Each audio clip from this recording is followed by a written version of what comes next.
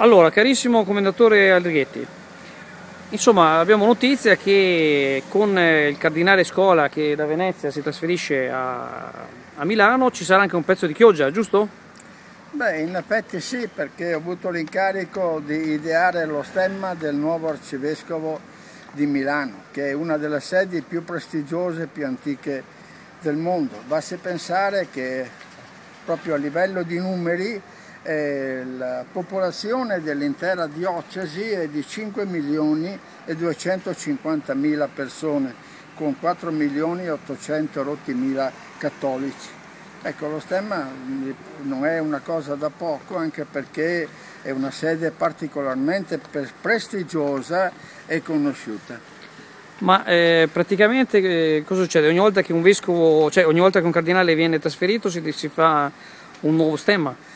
No, non è così. Lo stemma in effetti sotto, per l'araldica ecclesiastica inizia oggi come oggi quando uno diventa vescovo. Poi può succedere che cambiando la sede, proprio per necessità storiche, araldiche e pratiche, debba o in tutto, ma generalmente in piccola parte, modificare lo stemma. Io avevo già avuto l'onore di creare lo stemma quando il Cardinale Scola è stato nominato Patriarca di Venezia, che la curia patriarcale mi aveva chiesto se così potevo equidiare lo stemma e assieme a scuola eh, abbiamo deciso come farlo.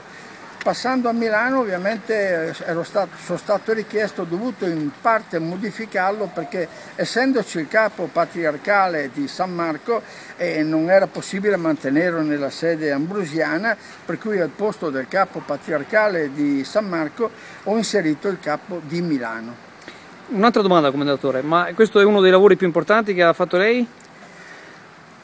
Beh sì e no, ecco, eh, la cosa che così mi ha esaltato di più nella mia vita è, stato in effetti eh, lo stemma del Comune di Venezia. Sotto l'amministrazione Cacciari sono stato incaricato di, perché c'erano 40-50 stemmi in uso e nemmeno uno era giusto, per cui con decreto Presidente della Repubblica è stato un lavoro di otto anni con pubblicazioni molto ponderose, stemma, bandiera, gonfalone e sigillo alla città di Venezia, come d'altro canto ha fatto anche la provincia.